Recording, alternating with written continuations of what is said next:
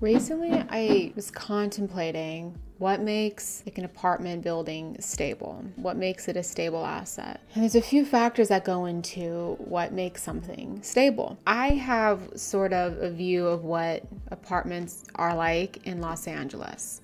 Los Angeles has some of the most stringent rent controls. There's new and improved rent controls all the time. So having a stable apartment in Los Angeles might very well look different, you know, than a stable apartment in like Tucson, Arizona but there's still the same kind of elements to what makes an apartment stable. And I thought I would do kind of a video on that because these are the five things that one of them might be like your Achilles heel. One of them might be like you've got four, but the like one, you're like, oof, I gotta focus on that one. I'm doing this video. I filmed two videos already. Okay, I'm like really trying. I did this video because these are five things if you have an apartment building and you're feeling like you're struggling with one of these things has got to be the thing that that might you might want to focus on and really hone in on and focusing on that might be able to help you you know potentially work towards stability. The first one is occupancy rates. Occupancy rates is like one of the main benchmarks of stability. If you have high occupancy or low vacancy is another way of saying it then that demonstrates that your you know building is in demand or housing in the area is in demand and that your apartment is an attractive reliable investment. Occupied units tend to be in highly desirable areas so major metropolitan areas tend to have high occupancy rates or low vacancy rates but even within los angeles i have seen you know corrections like i've seen in south la there's been higher vacancies. And I think people during the pandemic,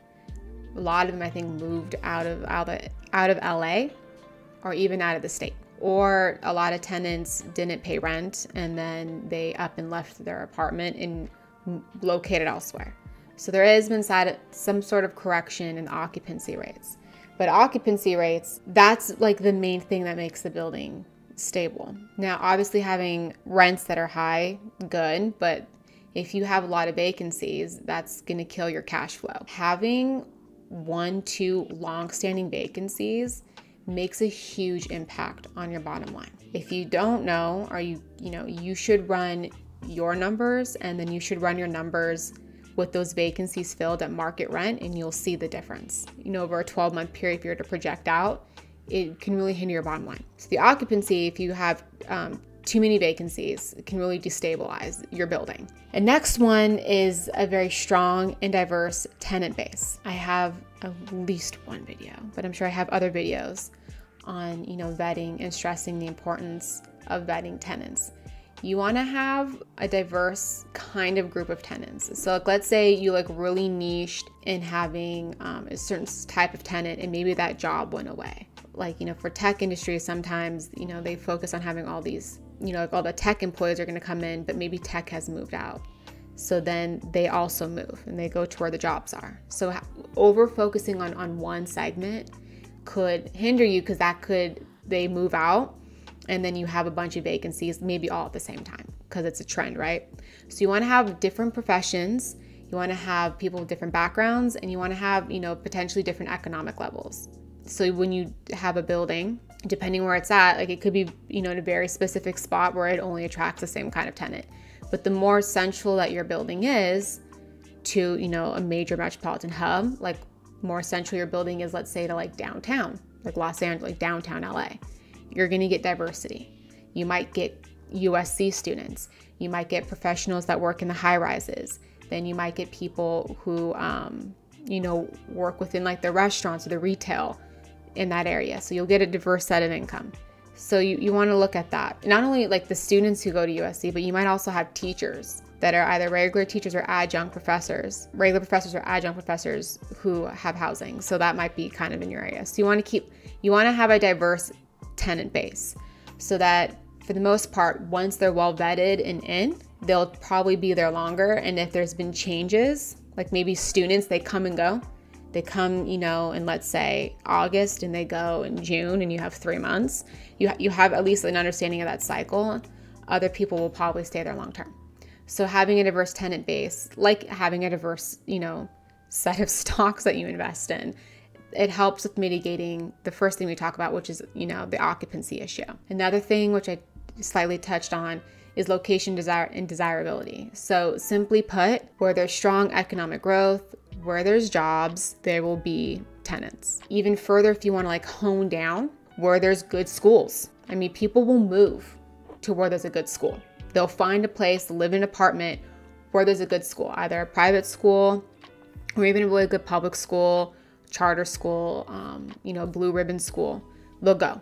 Low crime rates, which in Los Angeles is a handful of places now when there's low crime rates. Historically, people will go live there. And access to amenities. So I've talked about this in other videos access to major um, metro lines of buses, access to, you know, shopping hubs where there's, you know, close to a Costco, close to a Target, close to, you know, maybe a hospital, things like that.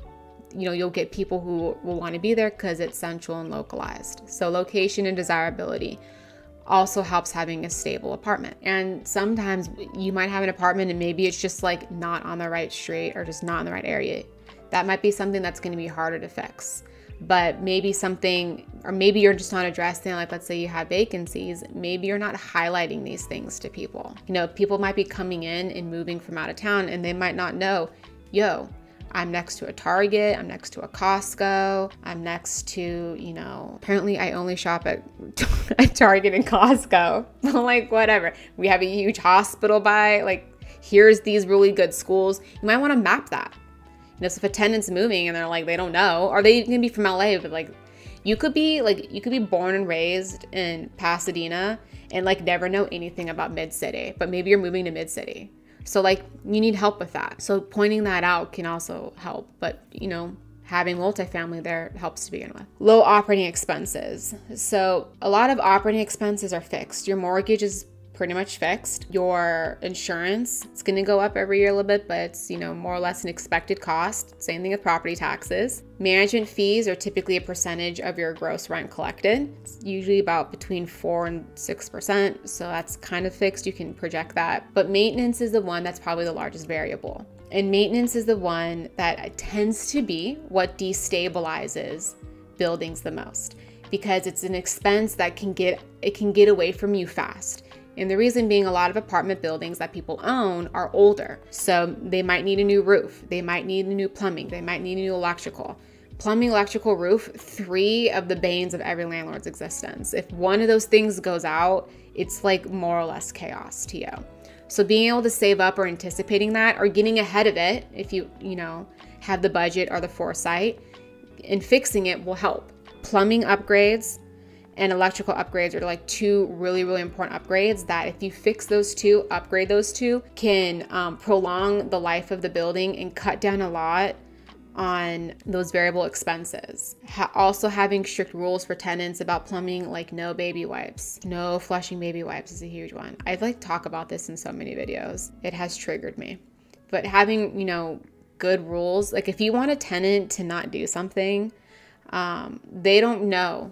Like a lot of tenants, they just simply don't know. Not because they're disrespectful, they just like don't know. Like don't flush baby wipes. You know, don't overload a circuit. A lot of other things, like good housekeeping, like cleans, you know, clean up. There's a bunch of things. There's usually house rules for it. Like in my lease template that I sell, my lease package, there's a bunch of house rules that tells tenants what not to do. Sometimes you might want to put visuals. Like if you have a trash bin, you know, black, green, blue, Green's the new one in LA. What goes in each? And it helps tenants and they know. A lot of the times they just don't know.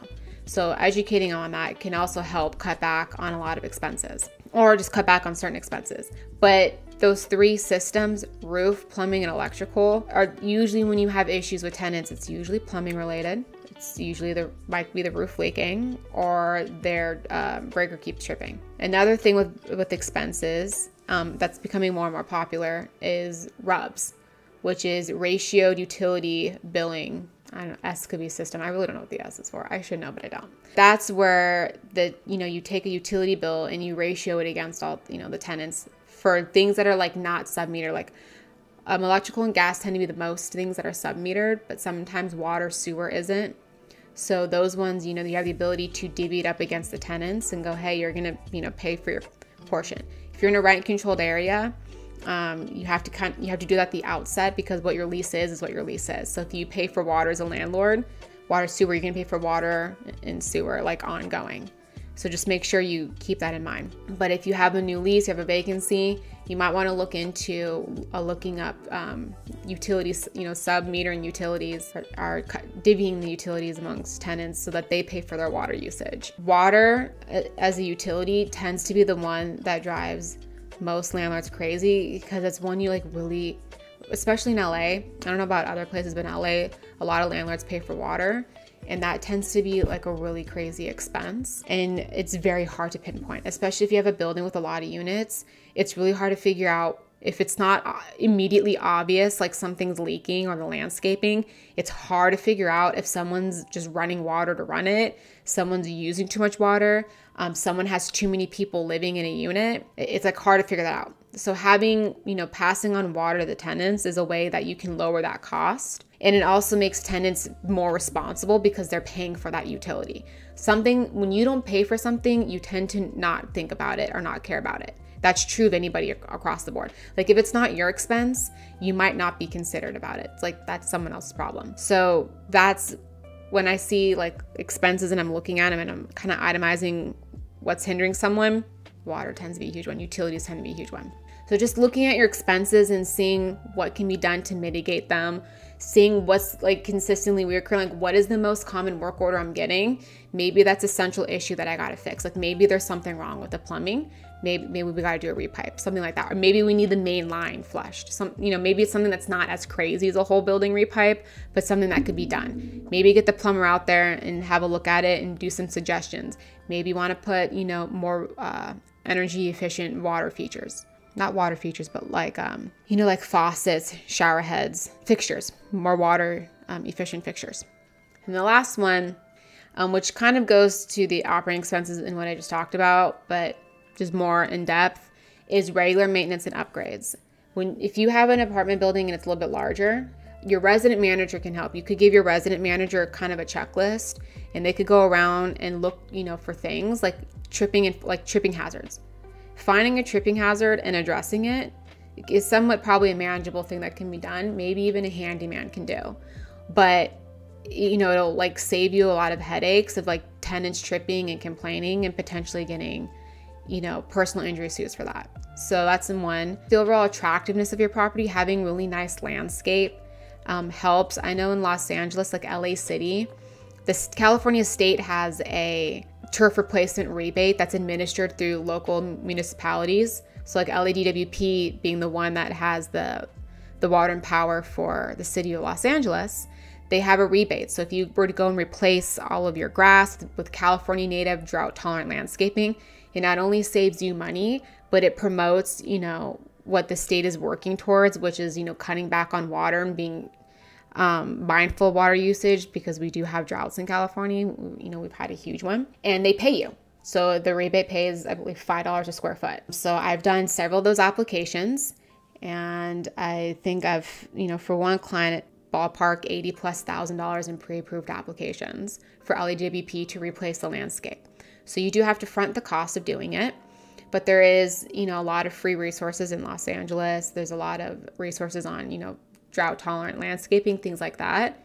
And, you know, you do get paid to replace the landscaping and you do cut back on your water and quite frankly your landscaping expense because California native plants tend to require less landscaping needs saves a lot of water. So that's, you know, things like that you can look at. Like I have it in, you know, like my lease package that I came up with, but you want to do like routine inspections of, of not only just the exterior of the property, which I have a video on that.